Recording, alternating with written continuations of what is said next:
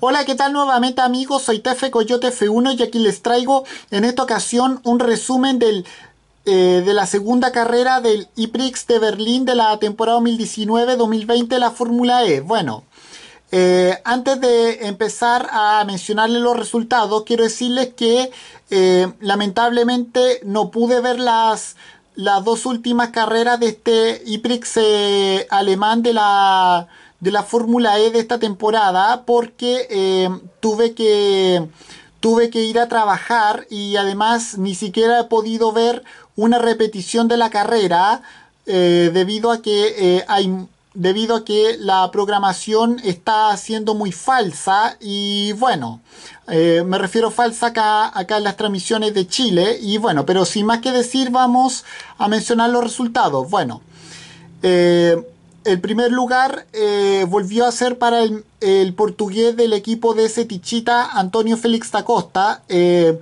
el segundo para el suizo Sebastián Buemi, de, o sea, Sebastián Buemi, de, eh, del equipo Nissan y Dams. Y, el tercer lugar fue para el brasileño del equipo Audi Sport, Abs Schaffler, Lucas Di Grassi. Y bueno, y finalmente...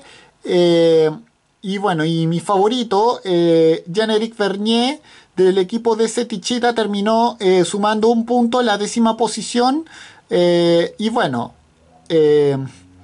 y bueno, y si vamos para acá, bueno, los dos que abandonaron fueron el holandés del equipo Mercedes-Benz EQ Formula E Team, Nick De Vries, y Maximilian Gunter de eh, del equipo BMW y Andretti Motorsport eh, también abandonó y quedó descalificado Jerome de, Ambrosio del equipo Mahindra y, no clasificado eh, Felipe Massa del equipo Venturi Racing. Y bueno, ahora para el sábado y el domingo de este fin de semana se, ya se vienen, se vienen más IPRIX se vienen más Ciprix también en la capital alemana de Berlín. Y bueno, yo creo que eso sí podría tener oportunidad de, de verlos por la tele. Y bueno, ahora con esto me despido. Adiós, que me fuera. Chao.